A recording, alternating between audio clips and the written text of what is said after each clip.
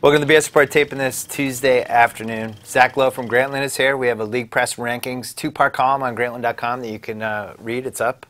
And Bob Voulgaris, What's up? our favorite gambler slash NBA Twitter slash coach critic slash, I don't know, savant? What, what would be the last noun there? I don't Fan, know. I would say. NBA fan. Fan. I do love the NBA. You do love the NBA. You don't have a team. You don't Nope. have a favorite team. Nope. You float around. You go to like Clipper games. I do go to a lot of Clipper games. I actually went to a lot of Heat games the last few years too. Probably more Heat games than Clipper games, I think. Those days are over. Yep. Did you wear white T-shirts? Never. Never wore a white T-shirt. Never. I would. I, I don't know. I didn't. I don't. I don't. First of all, I don't have much white. I'm not gonna wear like white. People wear white pants and white T-shirts to go to a Heat game. It just seems a little crazy to me. And you gotta walk around Miami in like white. Seems a little bizarre. It's, it's an interesting place, Miami. it's not like it's a different place. It's its own place. It was weird. I I was anti-Miami for the LeBron era, and then by last year, I was like, you know what? Pretty good home court advantage. You know, when that when Yeah. the fans want to bring it, they can kind of get him going. And then they rolled over against San Antonio. So now I don't know what to think. No, I don't know that that was necessarily anything to do with the Was- fans. didn't. Just ran into a buzzsaw. But the fans, Fans are good. fans were good up until the point where they realized something. I offered on. someone at the start of last season a ridiculous amount of money for his court sides, for like the right to own his court sides, and he turned me down and laughed. And then I was like, you know, LeBron might not even sign. And he's like, LeBron's signing back. Where is he gonna go? And then- You cut- you cut them I, I saved. I got. I got saved there because I would have just been sitting there with like lifetime Miami Heat season tickets to watch Dwyane I- Wade deteriorate before my eyes. I never really thought about it until I remember game four. A lot of the fans were leaving with like seven, eight minutes left.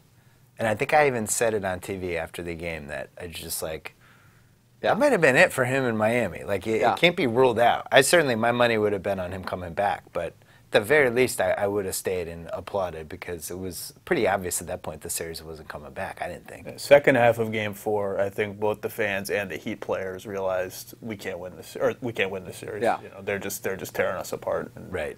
And if you went into their, I went into their locker room after Game Five when they lost, when the series was over, and I was like, me and one other guy were in there because everyone was with the Spurs, and it was like they were not. I've said this before, like they weren't pissed. Like you expect, like you know, just depression, and they weren't like happy, but there was a sense of like, I'm glad this is over. Yeah, they were Like, resigned to yeah. fate. Four straight wars. Yeah. You guys both kind of like the Spurs in that series. I like the Spurs a lot. I went Yeah. on the Le Batard show and said the You did? I did. I said there were Spurs. I bet they didn't enjoy favorite. that. No, they didn't mind it. No. Le Batard hung up on me the other day. Yeah. Literally hung up on me when I suggested that, that there is a chance. That, I, I said it would not surprise me if I missed the playoffs this year. I, I, I said I think they'll. I would bet on them being like six, seven, eight, but it wouldn't shock me at all if they missed the playoffs. Basically, I don't like court. this team. They won't have home court. I don't think in the People talk about them like they're a lock for a top five seed. Like, I just don't think they're that good. No. There's not that many great teams in the East. I mean, there, there's like a pretty big drop off after the top four teams. Yeah. So it's possible that they're just in that mix. Yeah. But I mean, they're basically going to ride Chris Bosh all year. I think they're in the six to eight range, assuming they're healthy. Yeah. But I think they're also the best bet not to be healthy. Yeah. And that's a team like Wade was playing 54 games last year. What was it? That was the number, Something right? that. Yeah. No back to backs at all. And now he's going to be playing. They would need, I think, 72 to 75 for him to be. a I'm not even team. sure that he really even matters that much anymore. Like, I mean, I'm not saying he's a terrible Well, if player. he doesn't matter anymore, then they're, They're- not making the they're- playoffs. yeah, well, I, I don't. I mean, I, the, I, the thing is, there's just so many teams in the East that are just not even trying to make the playoffs. Like they're going to try to make the playoffs. Yeah. Uh, you know, Philadelphia's not trying to make the playoffs. Boston's not trying to make the playoffs. Milwaukee's probably not trying to make the playoffs. There's three teams right there that you can just rule out. And then after Well, Miami that, doesn't have their pick. Well, I just mean they're No, but I mean, they like Yeah. they they have incentive to do everything they can to make it. I think. 'cause Right. The alternative. Is That's just go how- that's and they also they wouldn't, and they just Yeah. wouldn't tank anyways, just No. because they. I don't. I don't think. I don't think it's. I don't think it's set in that they're not a good team anymore. I think they know LeBron's not there, but they still feel like they've got a decent squad. I mean, it's pretty hard to go from making the finals three years in a row, and then Four. four, four years in a row, and then being like, okay, time to rebuild. It, I don't. They're, they, they didn't on the offseason. They didn't try to rebuild. So. At least they got Wade for just two years. Right. That's the saving grace of their offseason to me that they didn't give him like the massive four or five year contract Right. they gave Bosh, which I think uh, the Bosh contract I think will be fine. You know, Bosh contract as the, is as the cap goes up and all. Yeah, that. I think it's a fine, Wade sure. contract like that would have been a disaster. I'm fine with the Bosh contract. Are we sure he's still an All Star? Yeah, Oh, yeah. not even close. I mean, if you look at the way he's played when LeBron's been out and Wade's been out, there's like a bunch of games. He played against Atlanta, I think, three or four times in the last two years, where he was like the only player who was playing. Yeah. And he basically carried them in those games. He's played really good when he's been the focal point of their offense. He had really good. He had that one game at Portland. Remember last year where he hit a three at the buzzer Right. to win the game. Yeah. it was Yeah. one of those games where they, I think both LeBron and Wade Yeah, set out, and it was like you could tell it meant a lot. To They've him. Like, performed That's right. I'm still. I'm still. They've performed really well when LeBron and Wade have been out and Bosh has been the guy, and they played games. I mean, obviously they're playing teams that are thinking this is oh, give me oh LeBron's not playing. How could a team get up for that? Right? The opponent they have that advantage going for them, but in general he's a good player. I mean he's he's. He's, he was forced to play a role. It was a difficult role for him in terms of the type of role he had to play with LeBron handling the ball a lot. LeBron in the post, he was kind of away from his, his favorite spots on the floor. Mm. But he adapted pretty well. And when he goes back to the type of role I think that suits him in terms of from an individual standpoint, I think he'll go back to the way he was when he played for Toronto. That's my fear, though. All right, so number one, it's year 12 for him. Like secretly, a lot of miles. That's Year 12, he's played every season. He just played four straight 100 game seasons, basically. Two, Run, and running around a Running lot around. the way they play defense. two, his stats, and I, I like to look at big guy stats because certain things can go down and they don't come back. Rebounds, free throw attempts. Like he he didn't rebound last year. I think a lot of the His free throws didn't go went way down too. I think a lot of the rebounding though is is is the style that they're like he mentioned the style that they're playing, and he was also But that's the style they're playing offensively. It doesn't. No, no, I mean in defense. goes no, I mean in defense. I mean like the trapping. Yeah, yeah, the aggressive. He's like all the way at half court, and teams Yeah. are trying to, and because they're so they, they, they play such an aggressive trapping defense, teams are taking quick hits to the basket. The ball's not sticking a lot when you're trying to play Miami, so the ball's moving a lot. So you're constantly with your back to the to the rim instead. I mean, there's an answer for all of this, right? Like that's an answer. You also have an answer for well, they're going to rely on him more. Last year, he drifted out of games Right. because he didn't. You know, he was Wasn't playing engaged. 25 feet from the Yeah, yeah. basket. They want him to shoot threes. I get all that, but we still haven't seen him be Toronto Chris Bosh in a couple Right. years. And I wonder if he can, if he has a 22 and 10 in him anymore. The other thing I want to say about rebounding is rebounding isn't how good you are at rebounding the basketball has very little to do with how many rebounds you actually get yourself. How good you are at rebounding is a lot of times if you're boxing out the other team's best player and now you've got LeBron or someone else coming and getting the ball. That's re- like if your team gets more rebounds when you're on the floor, that's way more indicative than you actually getting the rebound. That's a. That's like the the Roy Hibbert rebounding totals to me. Are he gets hammered for that? And like he's not Yeah. quick off the ground. He can't jump. But they rebound better when he's on the floor. Right. And he's freaking huge, Right. and he boxes out diligently. Takes up space. Right. and, and like And the opposite of that is like a JJ Hickson who's just like jumping and stealing right. everyone's And the other thing is, is like, is like if mm. you're actually actively guarding your guy who's taking the shot, it's lot, it's hard to get rebounds because you're. But some guys, like someone like Rodman, for instance, he wouldn't even really guard his guy. As soon as his guy could take a shot, he'd just go off and they'll get the rebound. And now you're, you're giving up a bunch of open shots because you're. He took a you're lot of rebounding. criticism for that. Kevin Love is Kevin another Love. guy Yeah. who takes criticism. Yeah, those are like that. re- Hickson, somebody's driving down the lane and he's drifting off his guy in case there's a rebound. Yeah. instead or jumping even when his guy stop the shoots, it's just like a quick contest and then turn around. Yeah, he yeah. doesn't try and get in his He's face. like Yeah. the rebound whore equivalent of. Can you say whore? Is that allowed? Absolutely. Okay. Uh, of the Rajon Rondo assist whore. That's like the combination of, of that. So All right, I'm obviously have to defend my, my Celtics dudes. that was a recent trend with him. That was only the last. That was post 2012 when he started kind of that, that the 2012 13. The year he had the assist streak going was That the was most horrible. disgusting I can't display defend of it. basketball. That It was I've was, it was amazing how That was many horrible. Celtics fans defended, and he'd be going in for a layup. yeah, and just and kick just like the ball the out. ball, kick the ball. Fucking wide The problem was Brandon that- Bass two point contested two. It was horrible. Fast breaks where he'd be there would be no one in front of him, and he would like jump and pass it back. My issue is after about a month of it, teams were actually scouting him that way, and they were telling their players when he drives, just just jump off Right. and play the pass because he's not going to shoot. Yeah. And he was still trying to pass after that, and I, I didn't like that. Right. But Rondo's a complicated, interesting guy. He is. He's very mercurial and he's, uh, he's complex, as you said. You're I'm not a big Rajon Rondo fan. I was a big. I was gonna Rondo- ask. I have been in the past, and I was a big Rondo fan the year they lost to the Lakers. I felt Yep. like he was probably their best player for a lot. Oh, yeah. For a, a he outplayed LeBron in a playoff series. yeah. He's a Um, monster playoff series. but I'm just not a fan of like any player who you know puts the individual stuff. And maybe it was a case of okay, my team sucks, so I'm going to take what I can. But I think you can. I don't know. I think just setting a good example for the rest of the players that um, a team win is more important than you know your assist totals in some ways. I think the assist. I mean, I think he took the assist or thing like to. I've never seen anything like that before. That to me was just so insane. So if Love is the rebound horn, and Rondo's the assist whore, then who's the scoring whore? Um, well, there's different types of scoring whores, I guess. There's like, I like the guys who score like in garbage time. Those are like the guys who like, yeah, like the meaningless points. those are the guys who are the guy. The guys that do it during the game don't really bother me too much. But um, like Randy Foye used to always irritate me because you could see him. His eyes already has big eyes to begin with, but his eyes would somehow get bigger. they would someone get bigger when the team's down like 14 points with like a minute left in the game. That's just like this is my time to shine right here. He'd be rolling the ball forward. If someone inbound the ball, he'd be you'd see him like rolling it so the clock doesn't. You could see his teammates are just like, what is this guy doing? You know. But yeah, so Randy Foye was probably the all-time. I think he watches more I watched Big the end of than games. both of us. No, but combined. I watched the games that everyone else changed the channel. Like Right. people are changing the channel. because you have vested interest. Yes, those are the games. You've that been I known to see. place it better too. and in I get life. irritated when I'm, that a, happens. I'm about efficiency, man. Once, when there's a blowout, I'm done. I'm checking out. I'm going to another game. I am too. That, that there's still there's still territory for you Right. to mine. I'm afraid to say I'm afraid to say who the the scoring whore, the most famous scoring whore is. It's- I'm afraid Well, to I'm afraid to We say all it. know who it is. We just Right, well, it's- want to sick it's- the fan base after us. It's Kobe Bryant and Russell Westbrook. I think those are the two. Russell guys. Westbrook. Russell Westbrook is yeah. He likes. I mean, it's not a bad thing because he's good at it. But Russell Westbrook really has the best pure score in the league on his team.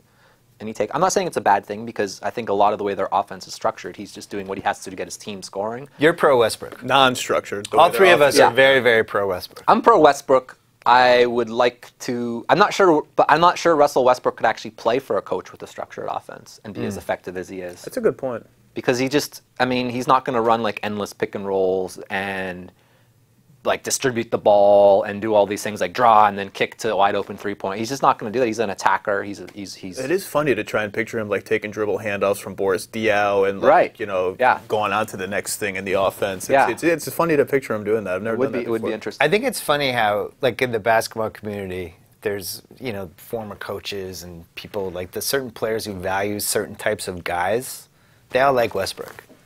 They're all like in on just him as a competitor. Like the people who value like competitiveness. right. You have to He's like value ten that. out of ten on competitiveness.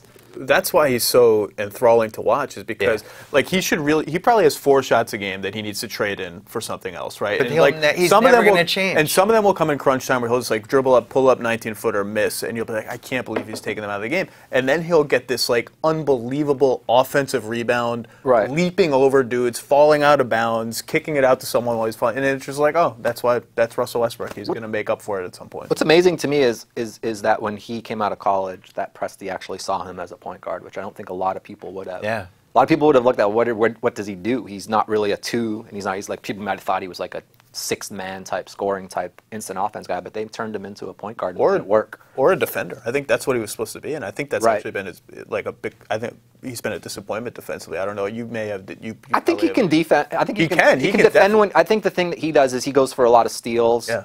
Which Hero, um, hero defense. He's Yeah. always jumping around. He's like hopping around. It's too much. He's, yeah. I'm not a fan of the guys who are out of position on defense to begin with. I'm a fan of the guys who like stay in their responsibility.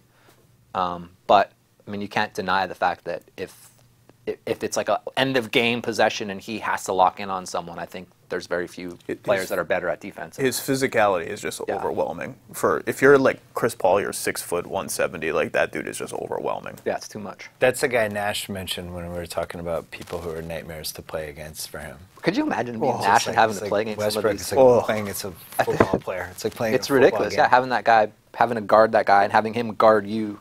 For your dream stretches. player, your dream player from like a hoops IQ, what they bring to the table, what they care about is Kawhi. Yeah, I mean, there's You other love players. Kawhi the most. I, li- I don't know about the most. If you were, if all the players were hanging off a cliff and you could just save one player, you would save Kawhi. I don't know. Maybe. Yeah, I'm not sure. Probably. He probably wouldn't. He You No, love I don't think so. I love Come on, Kawhi. you loved him. Kawhi won Yeah, the yeah. Finals MVP. I did, You yeah, I was very you were praising him for Well, years. yes, I was. But there's other guys too. Like I loved Paul George until last year, and then I don't Yeah, know what happened true. to him. He lost his mind.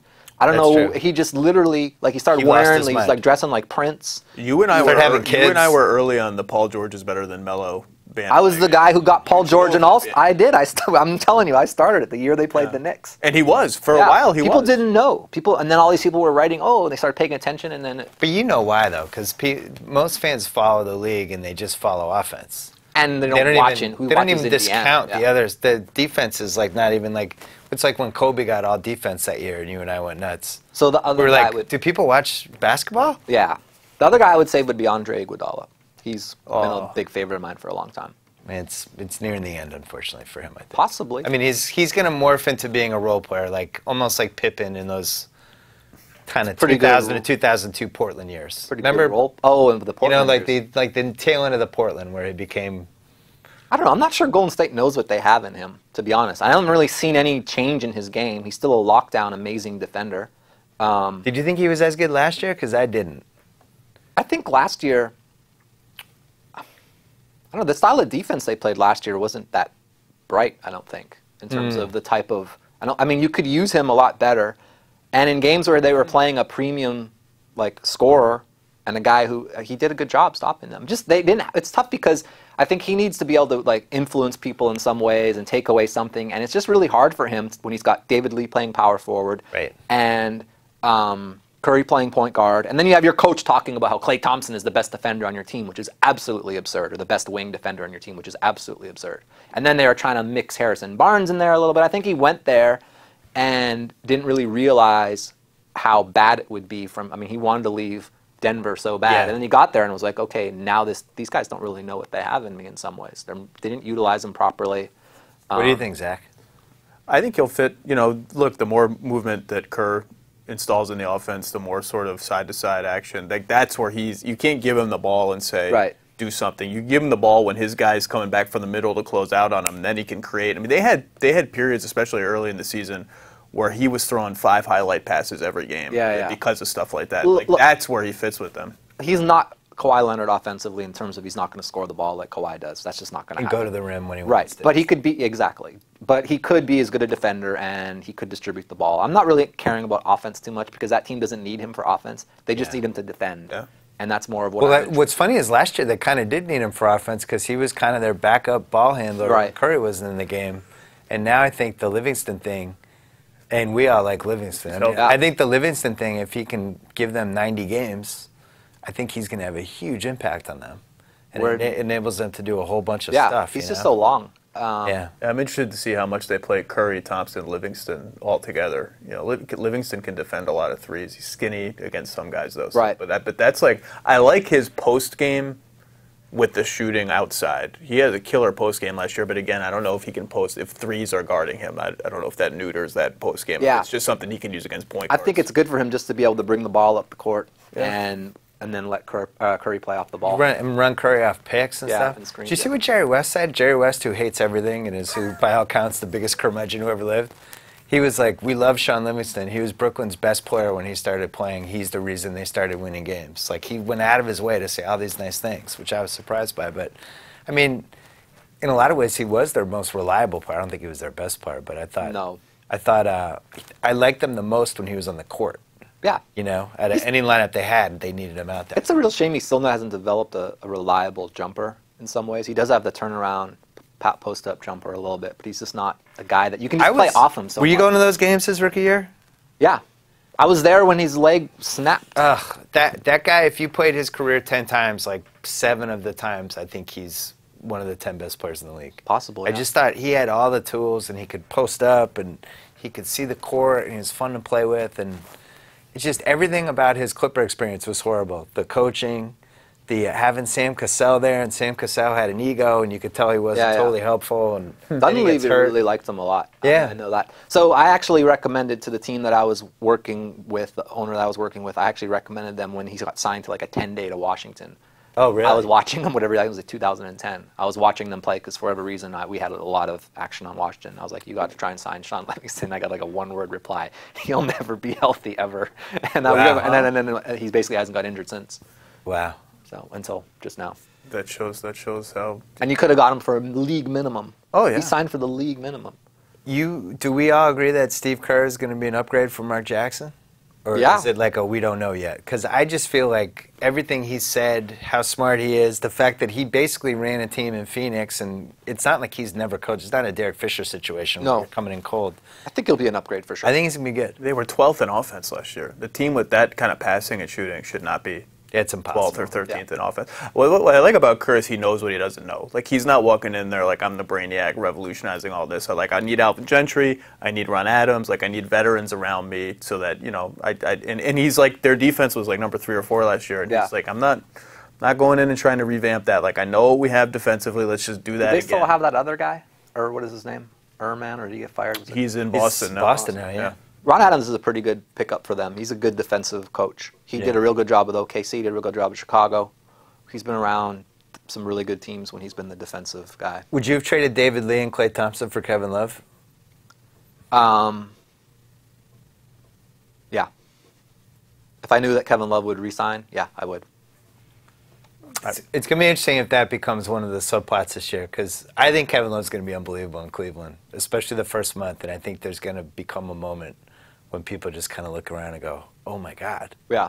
Like Well, Golden State could have had him with Stephen Curry and like. That's just, really? I mean, even if you don't think you're going to win the championship with that trade, your team just becomes so exciting to watch, and it Yeah. becomes, it just becomes such a marketable team. If you just want to look at it from a business standpoint, I think Klay Thompson is a good player, and I think he has the ability to be even better than he is, obviously.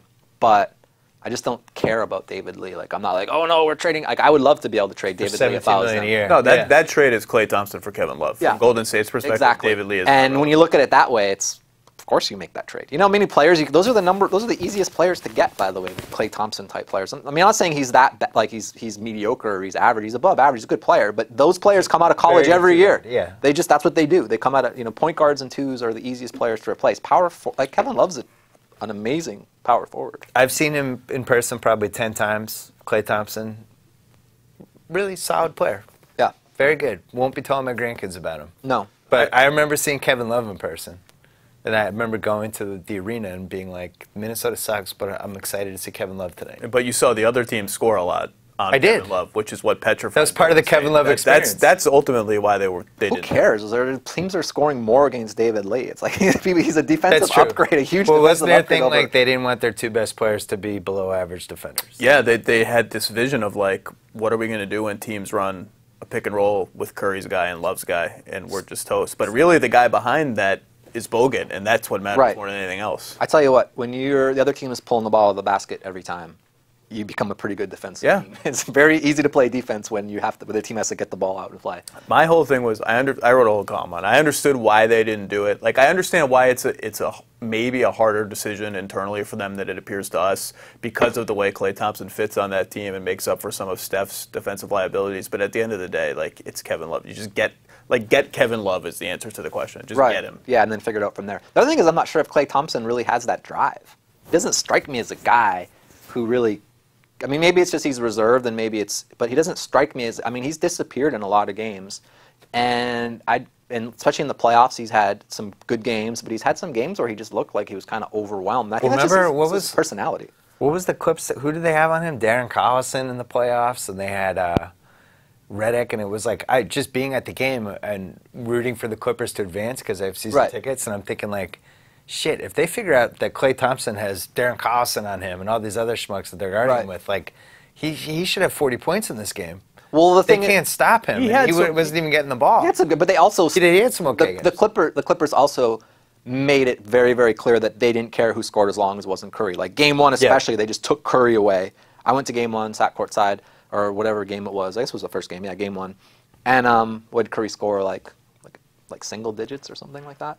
Um, Yeah, he made I think like, he had like two field goals or something. yeah, like that. and I mean Klay Thompson in a game like that should be scoring a lot of points. I mean that that should be a game where You like you like Curry as your MVPs, like deep recon sleeper at like I think he's like 30 to 1, 35 to 1. If if gambling were allowed and I would gamble, like By the LeBron, way, Le- gambling is allowed. Gambling is allowed. That's true. Okay. Uh, well, not for us because we have MVP ballots. But LeBron's even. LeBron odds. is going to win the MVP bargain. unless he Oh, gets. yeah, that's interesting. Yeah. If you have an NBA ballot, I guess gambling's probably not allowed. yeah. LeBron's going to win the MVP, but if you give me a choice of like who are the sleeper other candidates, I I think Curry is like Curry's clearly the best player on a very good team, and like Blake and CP3 are going to split that vote.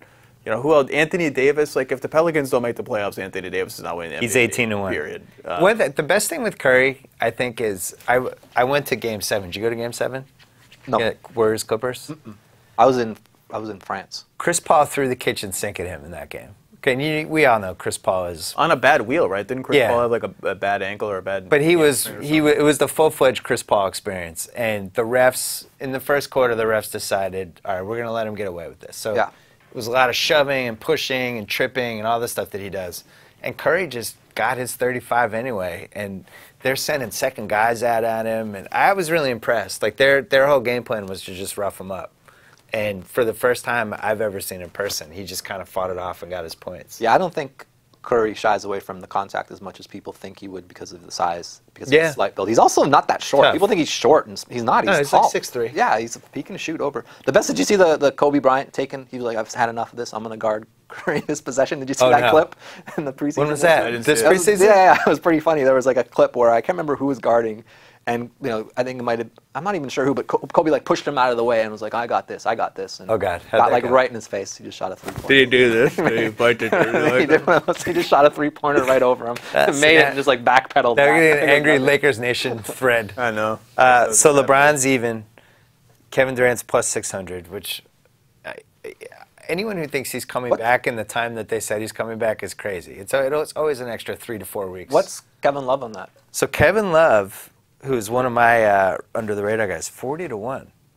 I would take that because you're basically betting on a LeBron injury. You're betting LeBron's out for Either 20 way, games, yeah, and no they matter win who 65 anyway. Yeah, I'd see. I think Blake is the best Blake's non-LeBron odds at 12 yeah. to one. But that's 12 to one's not enough. Did Blake come third? But let's say Chris Paul Third. plays. Yeah, he was third. He was third last year. I Let's had say Curry Chris third Paul on has one of those 52 game seasons where he's whatever, and Blake puts up like the 25, 12, 5, shoots 50%. It's conceivable if LeBron got hurt. Blake made a pretty amazing jump last year. He was fantastic last was- year. yeah. Who was fifth on the I MVP? never Who was fifth on the MVP ballot final results last year? Noah was in the. Noah was fourth, I think. Noah was fourth, so then Blake was third. Harden or Howard maybe or Curry. I think it was a Houston guy.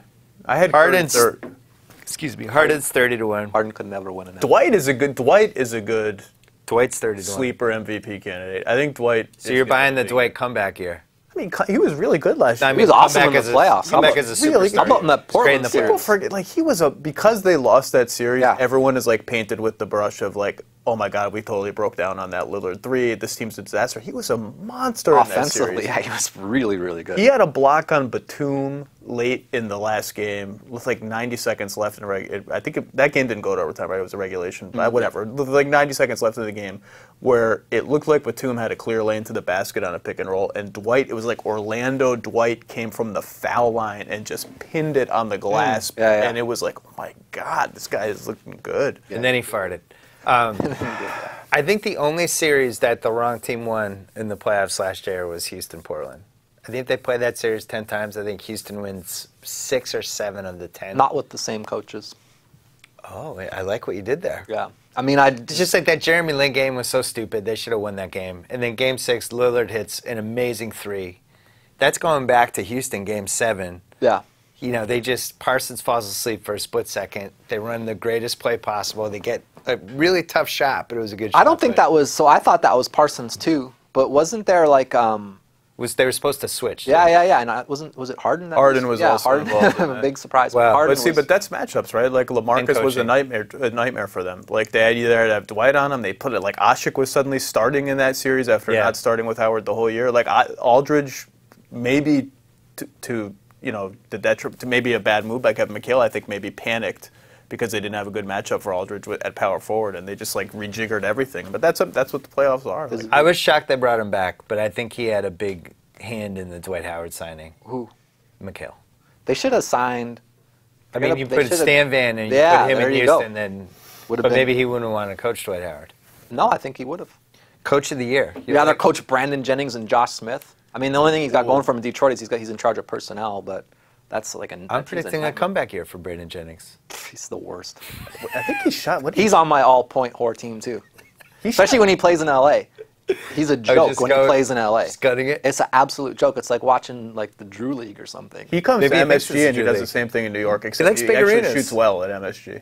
yeah, but it. I mean, he's usually. I don't know. I'm not a big Brandon Jennings fan. Pop is your favorite at plus 350 For what? for Coach of the Year. Then it goes David Blatt, Doc Rivers, Thibs, and Steve Kerr is 10 to 1. And then after that, Some it new gets coach a little will win it. wonky. Uh, for new coaches, Like a not like a brand new coach, but a coach at a new team. Like maybe Stan Van Gundy might win it. where's Stan? I don't even see Stan Van Gundy. Ooh, 50 to 1. There you go. That's a bad. I don't know that place. I wouldn't be too. But if you go- about making bets at that place, and I'm probably going on a business, offering fifty to one on that. If you go for if Stan Van goes 47 and 35 with Josh Smith and Brandon Jennings, he's got to be in the conversation. Yeah, absolutely. They're like a four seed. Yeah. Who's your Eastern Conference sleeper this year? Last year, Charlotte kind of came out of nowhere and nobody saw that coming. Is there a team like that this year? Uh, that face says maybe not. I think it's a, Atlanta. Oh, Yeah. I mean, I'm, I'm driving. I love the. I drive the Atlanta Hawks bandwagon. They're good. they are good. They were good. They were. By the way, they were good until Horford got Yeah, injured. Horford is really, really good. Really good. So yeah, I like that team. I think that's the but like people ask people ask me that like who's the big surprise team like I think I don't think there's like there's not going to be a Phoenix this year. I don't think there's a Phoenix or a Portland that just like comes out of nowhere and is awesome. I just Somewhere in Sacramento, the owner of the team thinks that that's the surprise team. Well, that's- someone over there thinks that's that. we wrote about this. That's one of the interesting stories to me is like he Vivek really thinks like we have two guys on Team USA like we're we're They're running out of their minds. They're- Stauskas? Didn't they just? Didn't they hire? They hired a guy though. They hired Dean Dean, Oliver, Yeah. yeah. I mean, that team is just like the they're going to be bad and I don't know what happens that like bad team with unreasonable expectations by the owner is like an explosive combination. I just don't know how you go from Isaiah Thomas to the two point guards they ended up with. At the very least, like you upgrade in some way. And there's expensive point guards out there they could have pursued, but I don't understand how Darren Collison and Ramon Sessions are the answer. Darren Collison's terrible. Um, but here's no, I'm just saying. Here's the thing uh, that's weird is that they have so many knuckleheads on that team, Right. and they didn't like Isaiah Thomas. Like if Rudy Gay and Darren whatever uh, Demarcus Cousins come up to me like, you know what, we can't play with Hmm. with Isaiah Thomas. I'm not like, oh, I got to listen to these guys because Yeah, they, they know But what they're that's doing. we make they've these made guys so happy. many transactions based on who Demarcus Cousins likes. Like they got Patrick Patterson because he's like the Demarcus whisperer from Kentucky. Yeah. Then they had to trade him to get Rudy Gay. But like Yeah. Isaiah Thomas is gone. I- I think. I mean, I think we can read between the lines. He's gone because Demarcus Cousins is like this guy has the ball all the time. Yeah, and I don't like it. DeMarcus Yeah, we can Cousins- definitely read between the lines. yeah, I mean, You like Cousins more than you did. I mean, I think he's an amazing basketball talent. Look, Yeah. he's probably the most gifted big man in the league. Yeah.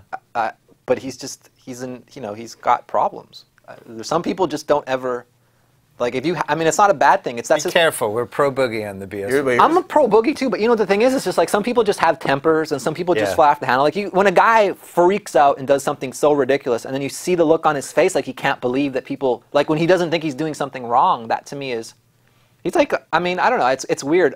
The bad thing about him is that he's kind of screwed because the refs don't like him.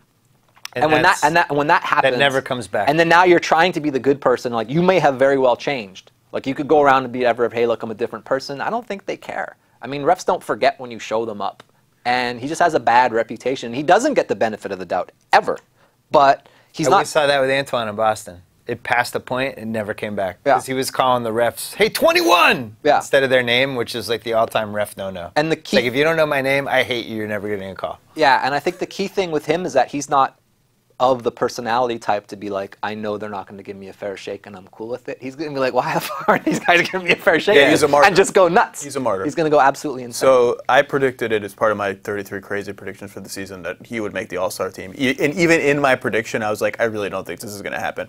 And I got messages from so the Kings went to China with the Nets and a lot of NBA league office people for those two China games. And that when that piece came out, I got several emails from people who were in China like that will never happen. I have never been around a worse guy in the NBA. That's interesting. And and it's like, okay, I Yeah. guess I guess that prediction's going to be wrong. He almost punched a guy in the FIBA World Cup. Did you see that? Uh, Valanciunas. Yeah, he almost like he, And Valanciunas, like- he, he like literally cocked and was gonna punch. I mean, that's just the guy has a temper. And That I mind less Still than like, like I'm not listening to either of you. that that that I mind less than like just the bad mouthing of teammates. When whenever something goes wrong, it's just like oh. And the showing up too, like he did, and that's my the one thing I can't defend the showing up on Right. the court. And you didn't run a play for me, and I throw my hands up and I stalk down the court. yeah, he's the That's- stock. He's he's yeah. so he's- the over under for them is 30 and a half. That's a good. That's a good line. It's a good over under. all the over unders for the most part are pretty good. This they Well, one pretty that good isn't is Atlanta because we all think they're What do better. have than, it at? It's 42. Yeah, they'll probably win one. They will win one. That's a of those two games. 44 to 45 unless Horford blows out his labrum for the third time. I like that. Yeah, Yeah, that's a good Good one. over. But I Uh, bet you the vig on that has changed. I bet you it's not an even money bet. I bet you it's like 40, whatever, 42 minus 160 to the over by now. I got minus 115 on this one. I don't think people bet NBA over-unders unless they're people like you. They go to Vegas and do it. Yeah, I don't bet NBA over under season win totals because it's I always like doing a couple because then I like just in the back of my head watching fun. League Pass. Yeah, just be like, oh, I have What's their Toronto's? Forty-eight point five or something. Toronto is uh, 48, which seems a, a, a, a wee bit high. Phoenix is 44, which I thought was interesting because I don't see why they'd be worse this year, but apparently Vegas. no Channing Fry. Frye is big for them. Frye. Yeah, so he's worth five wins because they won 49 last year. Yeah, but they also ran exceptionally well to win 49 games last year. I mean, they probably didn't rate to win 49. What do you think the Knicks are? I don't know. What do I think they should be? Yeah. What do you think they should be? They're like a 500, a little bit 500 team. What do you think? I was gonna guess 41 and a half. 41. Did they not do halves? Am I just is my No, they do knowledge halves. outdated? Halves for sure. Okay. Miami's 44 and a half. Under. See, to me, that Oh, is like a, a lock. At least put the money in the under. Yeah. And you can go against it the last couple of weeks. But uh, Memphis, who uh, Grantland's own Danny Chau, Who? is is he's one of our basketball our youngest basketball writer 23 uh, was started as an intern works behind the scenes dante exum's biggest fan Yes. uh, is our international advocate memphis is his rogue title sleeper Oh, wow. Yeah, that's not going to thinks this is the year you don't see it Possibly. I don't know. I mean, if you had to pick a team in the west who would you pick I mean, I would pick I would pick Oklahoma City or the Spurs, but I would pick the Spurs. But I think it's basically like a sleeper. I would pick, like, yeah, that's it. I mean, Golden- detroit's detroit's 36 by the way Over. Over. Give me that over. i can't see stan going 35 and 47 I'd like to see him go like 33 wins and just like watch his face get redder and redder every game because it's fun to watch. He's he just wears his emotions on, on his. So here's my case for San Antonio, which I'm going to make again on the Grantland Basketball Show on Thursday. I think they climbed the mountain last year. They filmed the sports movie. They redeemed the one of the worst losses in the history of basketball. Greatest possible story it ever. The way it unfolded, everything is just perfect. There's just you know went from point A to point B. Kawhi breaks out. Just everything goes right. That rarely happens two years in a row especially for an older team, and especially with the luck they had with those guys. With they, you know, they, Duncan stayed healthy like throughout the playoffs. Ginobili was as fresh as a daisy in Yeah. June. Parker never had the ankle twist that he had in 2013. It's really hard to get those breaks year after year. I'd be surprised if everything went their way again. Does that make sense? You're just you're you're you're. My I thing think we both that- disagree with you. I, I think Yeah, the, yeah, that's I think fine. the thing is there's going to be a time when they fall off and no one's going to really see it coming because you just expect them to be really good. But I think they've they've even the guys you mentioned like Parker, Ginobili, and Duncan, you could make an argument that those aren't even really. I mean, they're they're they're so their players are so interchangeable in some ways. Right. Nobody can kill them. Yeah, not any one injury, and and those guys being healthy isn't isn't an accident. I mean, they had the lowest load Great of any. point. So eh, when he was like, oh, they ran really good and they didn't really have any injuries, but guess what? No one played more than 30 minutes a game either. And they played not only did they not play 30 minutes, no one played 70 games or 71 games. So when you're they're getting breaks, they just understand the schedule. We talked about this Yeah. on the podcast that we did. Um, and it was actually interesting because I I said they're going to be fresh in the finals because of this, and Yeah. it turned out to be true. They, Um, they looked like compared to Miami, they looked like they like they the Spurs looked like they had just started playing basketball a month before the Right. finals compared to Miami. yeah, Miami. I mean, Well, Miami's big mistake was they should have arrested Wade more during the season. They should have arrested LeBron like- some. Yeah. No, it was, you guys missed my joke. Oh, that was a joke. I was going to say what. I. She set out 28 games. I was going to say what. So, but the Spurs. So here- here's the thing with the Spurs. They did have. There was like a 20 game window during last season where they had a bunch of guys that were out. Like Splitter was out for a handful of games. Yeah. Kawhi was out for a handful of games. Parker was out for a while, and they survived because of exactly what you're saying. But they also like they're just. I, it's amazing to me that other teams are not rushing to do what they do, and maybe it's because they have so much depth. But like, remember Tony Parker after the All Star break was just out with the variety of maladies. Like Right. the, Yeah. The Spurs will just do that. Like he has a variety of maladies. He's out for a while, and that, it that, that's like- just called we're resting him. It sounds like Blatt's going to do that with LeBron. You- you- this He's is- hinted at like he thinks it's a 70 game season for LeBron. so that's a function of two things. One, they're ahead of the curve and they understand this stuff. Um, the other thing is they ha- Popovich just has autonomy to do whatever he wants. If you're a new coach and you're on like a three-year contract and you're resting your players, I mean, look at the owner of the Phoenix Suns went crazy because they rested players during a preseason game. Right. Like like some of these guys, some of these owners and managers are, tough. are just irrational. So if you try to explain to them, no, we can't play our guy that we're paying $17 million a year because they would just be like, well, he's getting paid $17 million a year. He needs to play if he's not hurt. Whereas I think Popovich has the knowledge and also the ability to follow through on what he wants to do because he's, not, he's got so much autonomy. Whereas I think a lot of the other coaches don't have that. I would like to see Doc do that with Blake and Chris Paul.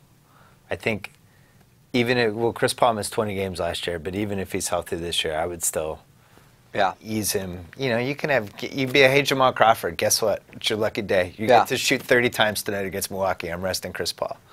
And I enjoy that. and Blake is somebody that I worry about a little like we used to worry about Dwyane Wade in the last decade, where he takes a lot of hits. You know, and he gets a lot of hard fouls, and he lands awkwardly. He's always in the like- air. He's That always in the air. tough. Guys are elbowing him and cheap shotting him, and He gets hammered. gets hammered. He does, yeah. It's amazing to me that fans like if you if if he has one of those like scrums where like he gets fouled really hard and like there's a brief moment where he looks angry and then like the teams come together and then everyone separates. The fans on Twitter like blame people hate Blake. They blame him for everything. I'm like that dude gets hammered. Yes. all the time. whole Like, career too. It's, Yeah. it's been ever since the alley oops that first year. I think that just put a put a little spotlight on him. People, rest of the well, people loved him until he was overexposed on TV. I think when he got The on, he's, ads. there's just too much stuff. People see him and then they just get they just irritated by it. I think. I think that's Yeah. just a, it's And the irony was he he improved the most other than Anthony Davis of any player last year. I for sure. like, from- Yeah, people hate everything that's good. That- There's like eventually people just hate everything. I just hate everything. so- Yeah, people just hate everything. yeah. I, I, I mean, I'm a big Blake Griffin fan. He's So- awesome. Blake Griffin is. So the Thunder lose last year for a variety of reasons. Uh, Serge Ibaka, Yep. that didn't help. Um, they were playing Derek Fisher in crunch time. Maybe didn't help. Caron, Uh, Bu- Caron Butler. They had Caron Butler out there. They had the Jeremy Lamb experiment did not go well. Um, then they go into the summer and uh, What a great summer for them. Anthony they sure picked up Morrow. a lot of pieces, didn't they? Anthony Morrow, a D leaguer, and Mitch McGary. yeah, they just really filled out that roster nicely. How'd you feel about that summer? I don't know what the deal is. Like, is, is there no money in fracking in Oklahoma City? Is that the problem? They Can not made just thirty. make The more team money. made thirty million dollars last year. But I mean- estimated, estimated. Profit. Well, yeah, the company is. I think they're. I think they're doing. They could spend more money. They're only two million under the tax, and like we get, we we reflexively say things like, "Oh, the team building," and they're only two million under the tax, and blah blah. blah. It's like you got you got a chance to win the title, You right? should be going now. over. Listen, if you want to own a basketball team, move it from a big market to a small market. Yeah. Okay. Right.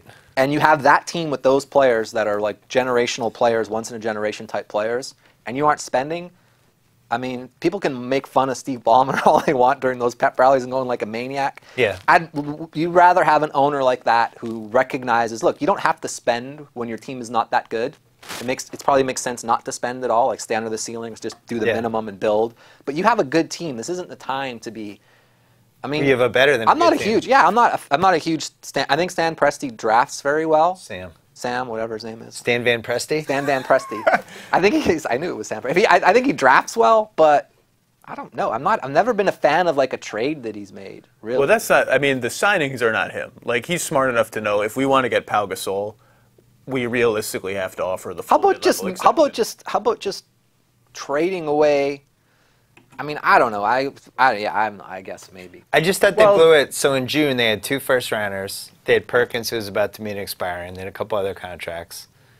That was their chance to get somebody. Yep. And to be like, even if worst case scenario is Arron Afflalo, Right. be like, all right, at least we got him. At least we know that guy can play in the last five minutes of a playoff. See, I think he. I think if Presti were here, I, think, I don't think Sam. I don't think Arron Afflalo moves the needle for them. Definitely. I think that's what he would moves the say. needle oh no, I, don't I'm have saying any, that's they don't have any players who can defend at the three. Uh, they just need somebody who's competent at the end of the game who can play for them as their fifth guy. Because You they like didn't the have it last year. That's why they didn't lost. Like the Morrow signing at all? Just no defense.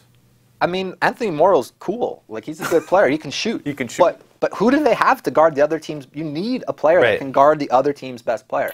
And be, it was Derek Fisher and Caron Butler last. Yeah, last. they're banking a lot on like DeAndre. DeAndre, Roberson, yeah, yeah, yeah, yeah. Perry Jones the third. Possible. Like I just haven't Come seen on. enough of those guys. Even if they had Perry Jones the first, it wouldn't be enough. let alone Perry Jones the third. It's interesting. They're they're almost treating it like the Patriots treat football, where they're saying like, well, the, you know, we just want to go 11 and 5, 12 and 4 every year. and Right. We think these second, third, and fourth rounders can fill in here. You can do that in football because you're paying 22 guys. Yeah. But in basketball, all that matters is your five guys in the last six minutes. Ultimately, Yeah. All this other stuff's window dressing. It's like you, eventually you got to go five on five, and your season's going to be on the line. And who's that fifth guy? And I, it, it's weird that they would think Anthony Morrow is the answer to that, because I don't really remember him ever having a basketball moment that was relevant. And we had in our back and forth in League Pass, I sent you his play, his playoff game log. Zero games, never played in a playoff game. He's like 29. Yeah. So He's ready. he's ready. He's Ready. really He's ready to waiting be in the his whole life. playoffs. He's been waiting his whole life. And they might make a trade. They got Perkins expiring and whatever. But eh, It's possible. I mean, the they'd It's have a to, shame. They'd have to take it back. Well, here, but they, here's the thing: it's like they've been saying for years that we'll pay the tax when it's time to pay the tax. Well, I Like, would say it's right time- now is the time. Durant's Yeah. 26, Westbrook is 25. Like this I is really the window. hope Durant leaves. That, that's like I do too. I'm rooting for that so. I do big. too. I'm rooting I said for that like too. a long Those time owners ago don't because deserve him. I I kind of really want. I kind of want to push my chair just away from the table. I know Why? that Zach Why? doesn't like conflict. Makes it, he gets awkward. We do, but where is he going to? Well, we don't. We don't Go anywhere. Look at Zach. So Where's he gonna go? I just, Where's he gonna go? I just. I mean, I. you have Durant, who's one of the best players of the last 15 years. So who deserves? Who And deserves? you're him? cheaping do the, out do the around him. Lakers deserve him? just spend do the, the right amount of Wizards money. deserve Spend the money one year. Just Well, spend the I money mean- one year. They wasted the 29th pick of that draft many on a guy who went to the D League right away. how many draft picks did Ernie Grunfeld blow in the top 20? And now they're going to they're going to At least he was into. trying, though. The D League thing was a disgrace. Go to the D League. We're, we're giving away this pick. We're not going to use it. yeah. For know. all this talk, for all this talk, they may, if they had Westbrook two seasons ago and Ibaka last year not get hurt in the playoffs, they may have a ring. Like they may have they may have won a title by now. I don't know if it's likely or not, but like they were two two with the Spurs after Ibaka came back, and Spurs send money to spend money, though. They do. I Like, if you flip- they're under you- the they're under the tax too. Spurs don't do anything wrong. But they went, No. they paid tax a couple times, though. Yeah, when they, they and that's the historical spending pattern is exactly what you just said. Teams Yeah, build you up, build up, and then you, get spend the, when you have to. You- Sacramento paid the tax when they had the, the height of the Divac Webber. Celtics paid the tax like four Yeah. or five straight years. By the way, the year Oklahoma City beat the Spurs, you could make an argument that that team, the that Spurs team, was one of the best teams in the last ten years. I mean, they You were know- you they know how I ran off that? like all these wins. Do you know how I know you can make that argument? Because it's in my archives after game two when I called them one of the great offensive teams of all time. Yeah. And they never won another Well, and that's game. what I'm saying. Like Yeah. for all for all this, like if they, if Ibaka were healthy at the right time last year, that team is a problem for the Spurs. They're a Yes. problem for San Antonio. I, think, the Spurs would, would admit that after having a few years when where they got the wrong break at the worst possible time last year. But some they, things but, but really they were a problem when they had the team that they had. When they had Harden, who was another offensive weapon. They're not a problem They're a very different team This is- yeah, you get rid of. I mean, as, as bad as James Harden's mocked on for defense and all this other stuff, he's getting to the free throw line. He's picking up. I mean, that Oklahoma City team lived at the free throw line in large part because Durant, and Harden, unprecedented. and Westbrook draw a lot of They had fouls. three of the top five. And It's also, crazy. in the line. and also, we don't need to rehash our Drake because we do it all No, the time. we- But, we but can't like, help but it. that's why you keep him. Those injuries Yes. are why you keep him. You don't just say we have four of the best guys. He's redundant. I mean, you, They which is which is true until one of them gets hurt. I mean, that was such a joke. That trade was such a joke. They picked. They really thought that they could replace him. A team that goes to the finals thinks they're going to replace Well, him. the other problem is Kevin Martin. it was also a lack of understanding of how the league works because injuries happen all the time. And to just say like, well, we can do this, and then everything else will be, the, all the other variables are fixed variables. Like you just never know. Derrick Rose goes out for two and a half years, you know, and that's basketball. I mean, they clearly have a no tax mandate. I mean, it's it's got to be coming from ownership. You, you can't pay the tax. I don't know when that mandate is going to be lifted, but the cap and the tax went up so much that they could have kept Harden at the max and paid the tax in just one season. They I could have amnestied Perkins. They could, that's what I'm saying. It would have required amnestying Perkins, which cost money. which should have done last That year. wasn't then a re- tax and then that was replacing- and then- that was That was a straight out money straight out thing. cash thing. Yeah, that, no, yeah, no, you're under the. You don't pay the tax, but it, Yeah. you got to pay him, and then you got to pay his replacement for the minimum. it's a probably. ten million dollar Oh, price it's going to be tough to replace Kendrick Perkins. No, I'm with, like, saying Ekpe that- that's Udoh why I said like the that. minimum. the minimum. Uh, I'm saying it would have cost money, but they could have done it. They could have paid the tax just one time, and I don't know if they knew that if they invi- if they projected the cap Zach, to jump like this. Come but on, Zach. It was the difference cheap. between making twenty million versus making thirty. Yep. And they decided, you know what? Yeah. And now it's like if you don't have Perkins on the roster for for last summer with the rest of the team they had and all the other options they had. Now they could have really gotten somebody. If Steven Adams is not starting over Perkins in the playoffs, I, He's actually I, a pretty good player. Steven Are we sure he can play 20 minutes? He fouls a lot. He fouls the crap out of Can he everyone. play? Can he play 30 minutes in a playoff game without fouling out? Not I don't. this I'm just saying, if he's not starting over Perkins by Right. April, I may not be able to watch a Thunder game at the playoffs. It, it, we may get to that point. You probably won't be able to watch a Thunder game because you'll be. It's going to be the Russell Westbrook show for a while, and that's going to be interesting to watch. If you're a basketball purist, you're going to be like, "What is going on? You're anti Scotty Brooks, right? Of course, I think he's terrible. I guess that would be anti.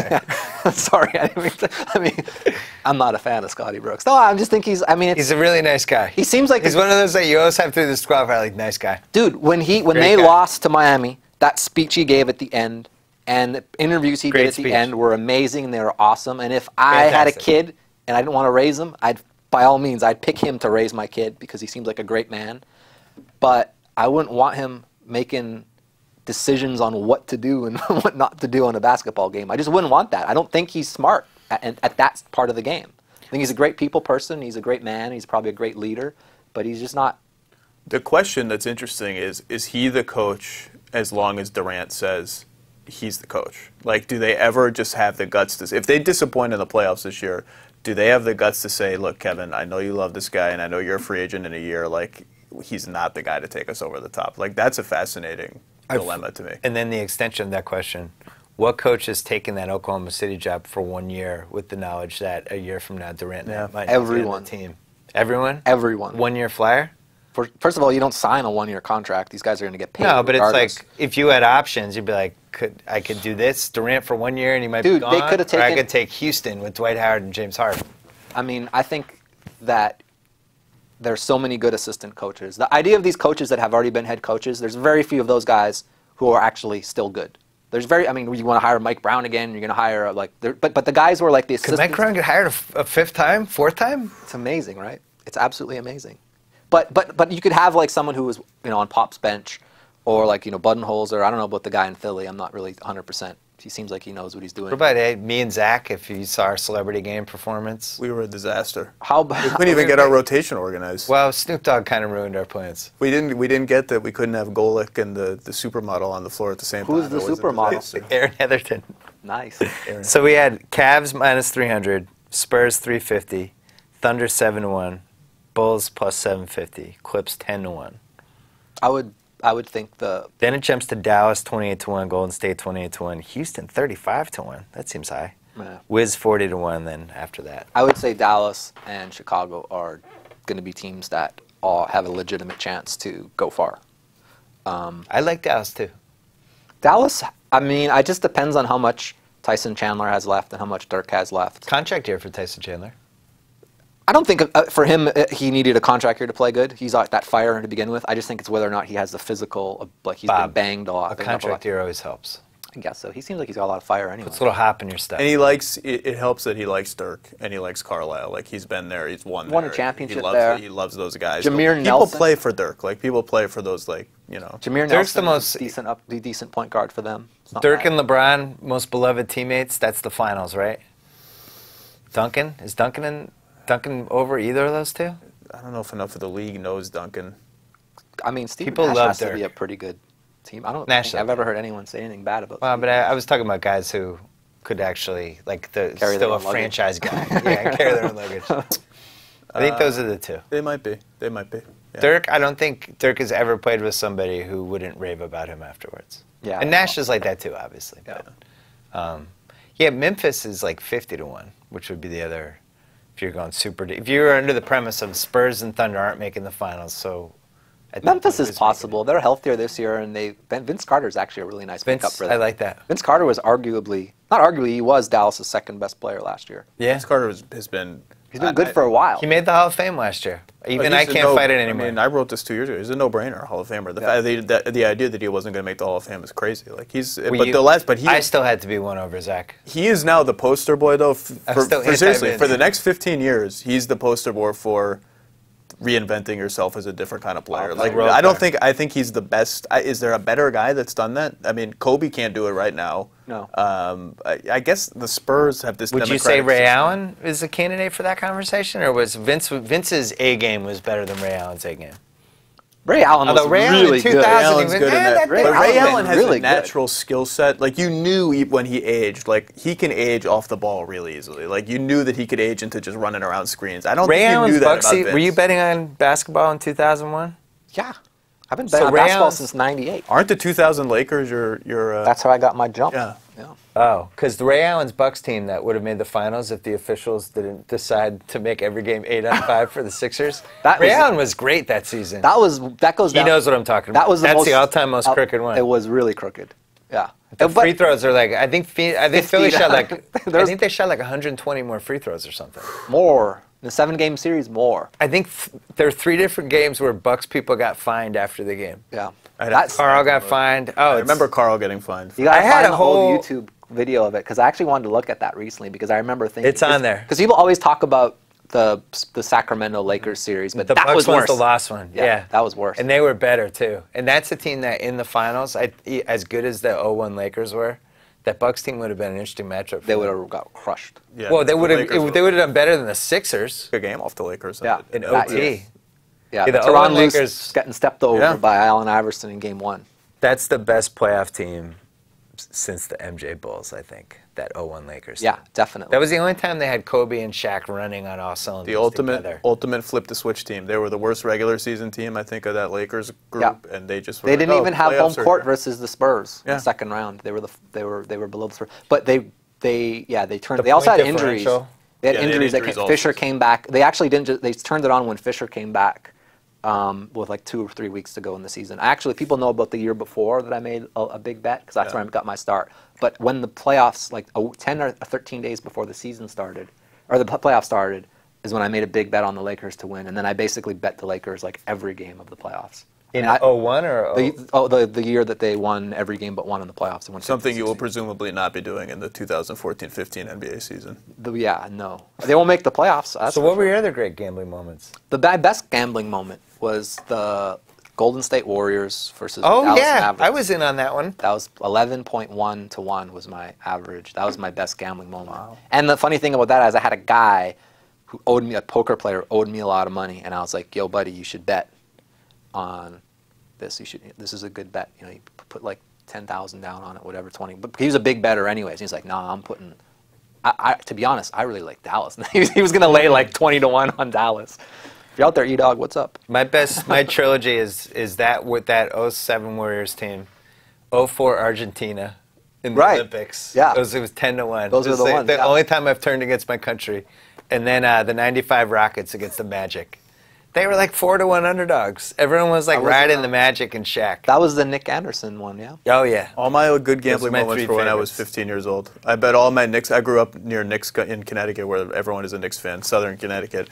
It's 90 was 93 the Smith stuffed year in the conference finals. When One of the Knicks- great games when ever. the Knicks went up 2-0. Yeah, Yeah, that was Game Five. game- I bet all my friends, and these are like ten dollar bets, Right. that the Bulls would win. And when the Knicks were up 2-0 in that series, like every day I was getting trash talked. I was like, just wait, just wait, MJ. just wait, and you'll appreciate this. 95. I bet. Now I got odds, and I don't remember what they were, but I bet essentially that the Celtics would beat the Magic in the one eight series that year. I was like, Oh, it was the a Garden, the last day of the com- Garden. sneaky competitive Wow. They series. were up. They lost the first game by like 40, and the next three were close. Yeah, pretty impressive. I went to those last two. I lost all the bets though. Whatever, however they worked, I lost. But I was like, I was completely irrationally confident that the Celtics were going to win that series. Dominique Wilkins was heavily involved. It was Well, you, your other great gambling moment was the uh, the lockout season when it came back. What were you doing? Going over the whole time? No, Uh, uh, unders? Yeah, that was a good gambling moment. Um, yeah, that was a good gambling. That was we just that was probably my I like. I mean, we didn't do as well as The unders were way off. The over unders were way off, right? They were Teams like were like- points too high or something. something like I don't remember. Was, yeah, it was, that was a good year. That that was there was like something weird about the lockout season. I think that not very many people picked up on, but You picked up on it. I did pick up on that. So I went back in my memory bank to the previous lockout when I was living in my brother's basement in Winnipeg, Manitoba, and I went through I went through the data. Jesus. yeah. So in 2016-17, when we have a 35 gonna be game season, lockout, yeah. that's happening. That's what I'm. I'm. I'm. I'm out there as a lockout optimist. I've already written it. I'm out there. I, Lockout optimist. I'm a I lockout didn't even know that was a corner. I, I'm, I'm cautiously optimistic that we are going to avoid what I, I think we could. I think we could not miss games. I think There's too much money for them to, to really. Adam has already started. Adam Silver has already started going to owners very quietly and being like, if things are going well, like let's not be idiots. Let's not like threaten this. I'd say by- things are going well. Things are things are going great. Like I'm like there might be a there might be a lockout or a strike, but I don't know if that necessarily will mean miss games. It might be resolved quickly enough that If you were a billionaire, how much would you offer New Orleans for with the Bensons for the Pelicans? If I was, how much money would I have to have? Let's say you're worth five billion bucks right now. Five billion? Yeah, and you want an NBA team, and you feel like you can get, you can steal the Pelicans away from Benson. Um, What? How high would you go to have Anthony Da- to be Anthony Davis's owner for the next 12 years? I don't personally. I don't believe in owning human beings, but Well, I what, don't know on the Anthony team. Davis's C- CEO. I, I don't know. I would probably spend a lot of money on it, I, would- but I Would you go over what the sticker price was? yeah, I would bid for sure. I mean, first of all, the sticker, the the, the Bucks sold for what, five hundred million, 575 five seventy five, or 550. You'd have to probably pay a billion dollars now. I, I would think for a team. I think the Pelicans are worth what, Zach? Like 750, 800. People would think. we'll see what the Hawks go for. I mean, that's a tiny market by NBA, but so is Milwaukee. Well, I'd go a billion because Davis is the next guy. we'll You know what what I the just Hawks want the go next for. guy. I- Yeah. yeah. Davis is a wild card. I was talking to I a think you can put value on that. Was I would do it just so I could fire Monty Williams. I'd probably pay an extra billion for that. Zach's like the only one of the few pro Monty Williams guys. I kind of like Monty Williams. I can't explain why. Like, first they had a good defense. Well, the last time they had a real team, they had a good defense. Like You don't 2000 agree with 2011 I don't agree with him. Hornets. He's terrible. He, he draws up some some Are you fun out of stuff. your They all end in bad mid-range shots, and he has clock management problems down the stretch for close games. I just I want to see what he does with this team. He draws up some cool plays. I'm a sucker for people who draw up cool plays. We'll plays. give him 20 more games, and then you have to. They're all on the line this year. All Only- those guys, front office, coaching staff. If they're bad, The they're- only thing Anthony Davis is worse at than coaching that team is picking out his game day wardrobe. Mm. That guy has the worst suits of any coach. Monty. Monty Williams. Yeah. Yeah. Well, the good thing for all of those people is that the Saints are kind of in a potential free fall in the NFL, and the Bensons, that's all they probably care about right now. So they won't even notice what's going on with the Pelicans until January. Yeah, I'm not a Monty Williams fan. I'm, I don't know. Maybe I'm too hard on some of these. You like coaches. Brad Stevens? You're definitely too hard, but so am I. I like Brad Stevens. I like. There's You a lot. like so I'm gonna talk about all the coaches I like. I like Brad Stevens. I like Budenholzer. I like um, That got a heavy nod from Zach. Sneaky coach of the year game. Popovich. Oh, yeah. for sure. I'm gonna like David Blatt. I'm positive of that. Beat the, all of us love David Blatt. We've never seen him coach an NBA game. I watched him coach some some YouTube clips. Yeah. some, some clips. Uh, I'm probably missing a bunch, but those are Carlisle. love Rick Carlisle. Uh, I love Rick Carlisle. I really do. Yeah, he's a great coach. He's in my top three. We like Stan Van. I like Stan Van. We like Hornacek. We forgot to mention him. How can you not like him? Yeah.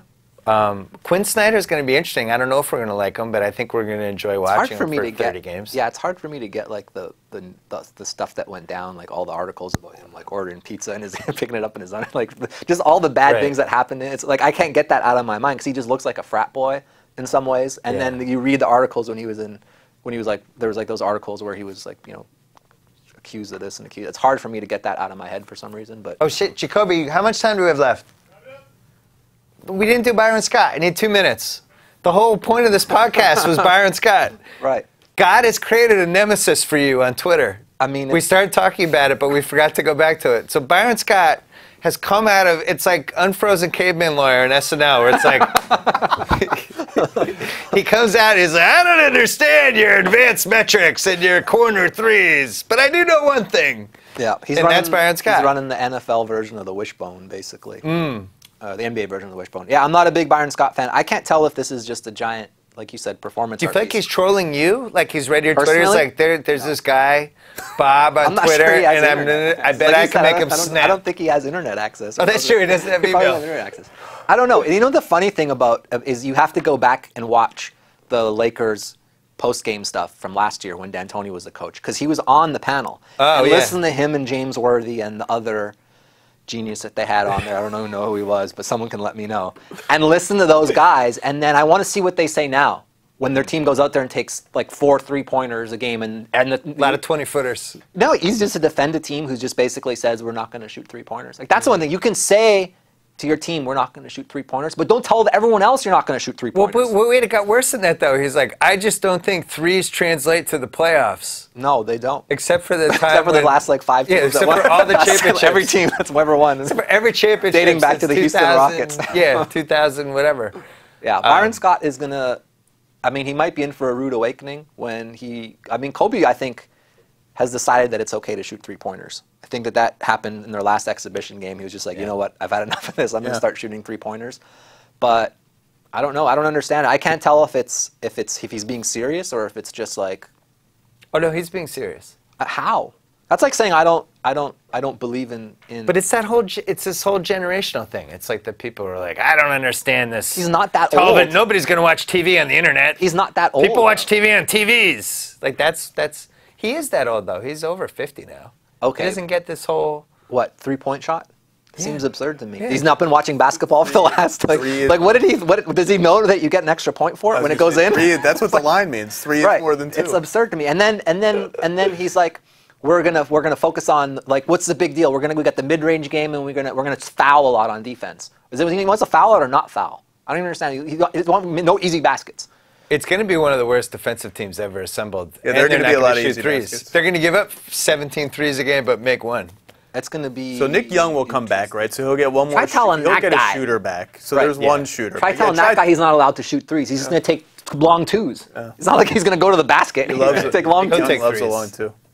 Oh. The Lakers are just they are a performance art project right now. Between that and like everything Kobe says now is like a cartoon character of Kobe. Like this the, all the F bombs he's dropping about Julius Randle the other day. Yeah, It's he's like, Kobe's acting really He- weird. by the way, he's the other guy here. that you forgot to mention, and all the teammates love playing with him. Kobe Bryant wasn't he? Should he be on your list as well? Yeah, there's been eh, I can't, just can't think of one. Right. I mean, even Pau left. Pau still likes him though. Pau's got like a Stockholm syndrome. Yeah, Pau. 100. percent Pau. 100%. You got to work really hard to make Pau not Yeah. like you. like really, really, really hard. Well, it's funny reading past quotes about how he was attracted to Chicago because of the culture, and he was excited to have a new experience. And I'm thinking like, well, I guess Oklahoma City was never really in this then, No. because if if he was looking for this big worldly big city experience, it was going to either be the Knicks or Chicago, right? From how he was talking, but, Oklahoma City really thought they were going to get him. If they offered more money, maybe they would have. I mean, they're hmm. they're competing with the tax mid-level exception against the real mid-level exception. That's like you know almost double. this is Chicago's real chance to win a title this year because they've got Cleveland's going to figure stuff out. Yes. May not be this year, but they're going to figure stuff out. And Chicago's got the pieces. They've got a healthy, you know, I um, think. But I mean, they got healthy players aside from Derrick Rose. Like they've got like Gasol. But then if Derrick Rose can somehow, just going to be tough. But if he can somehow get back to like maybe 80% of what he was before he got injured, um, they've got a great coach. I think they'd take 80 percent. for sure. Yeah. he looked Lock real that number good. in right now. Last night he was tremendous. He looked real good, yeah, Yeah. last night. I mean, he was being guarded by Kyrie and Dellavedova. but Chicago has Chicago has a, everyone they signed in the offseason. Mirotic, Gasol, McDermott they drafted. Like they have a bunch of great like second and third options. Like they're Yeah. really good second and third options. They just need the one guy to break the defense down. Guys, you have to think about. Oh, we have to go. All right. So you can check out Haralabob, uh, Twitter at Haralabob. Uh, okay. That's your Twitter That's me. account. Yep. Harala Bob. Haralabob. That's Bob Voulgaris. Yep. Thank you for joining us. It was a pleasure as always. Zach Lowe, we will see you Thursday night, ESPN, 7 p.m., the Grantland Basketball Hour. Don't think we're not dragging you on that one, by the way. Would love. You'll be to making on an it. I'm not sure. You're I, doing I eight could be like the regular new Jimmy the Greek. You could be. Oh my god. wow. Minus, minus the ra- minus, the, the racial racism. missteps. Yeah. I could be the new Jimmy. You got to wear the chains like he did. He used to wear great chains. That'd be awesome. All right, that was fun. Thank you. You're welcome. You see, every podcast we put on YouTube comes with this fancy graphic listing all the topics that your favourite Grantland podcasters are talking about. If you click the topics, you can skip around and choose your own podcast adventure. Subscribe to the Grantland Podcast channel to blaze your own trail on this sonic journey.